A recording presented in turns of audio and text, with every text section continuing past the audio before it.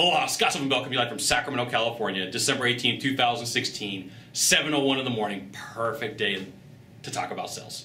Even though it's 31 degrees outside here in Sacramento, it's still a perfect day to talk about sales. And we're talking about how you can build rapport in the sales process or just in life in general. And we're talking about formal, so we're on L, and that's location. So you could talk to people about locations. You could talk to them about where they're at, like if they got a really cool office, you could say, hey, this you know pretty cool office, but chances are good if it's a good location, the person knows about it. So there's a lot of houses out towards Folsom here, Auburn, uh, that they're on the, the hills and the cliffs and they overlook the Sacramento Valley. And if someone's got a good view, they bought that property for the view. Chances are pretty pretty good.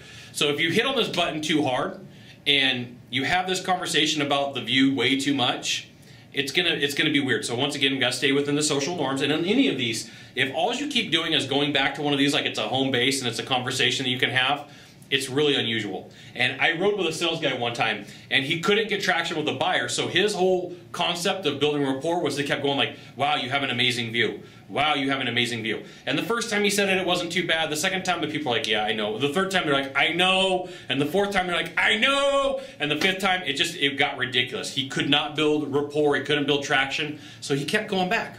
You have an and they, they had an amazing view, by the way.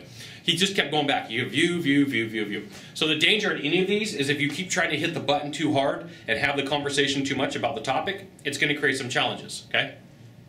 So location, where have you been? Where are you going? This is a cool location for your office. This is a cool location for your house. Your view's amazing. Like you could give a compliment. It doesn't always have to be a question. You could give a compliment about anything.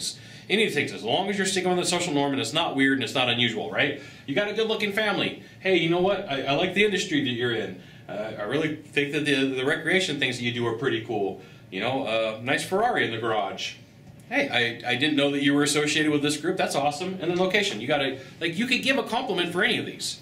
So, location. There you go. Talk to them about where it is, what is cool about it. But remember that if you're saying the same thing that everybody else does, you're going to get put in the same category as everybody else.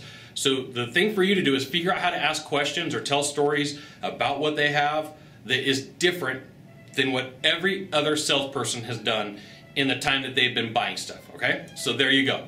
L is for location. Now, if you could do a small favor for me, in the box down below, leave a comment, question, or story. That'd be fantastic. To the right or to the left, there's a subscribe button. You know what you got to do. You got to subscribe.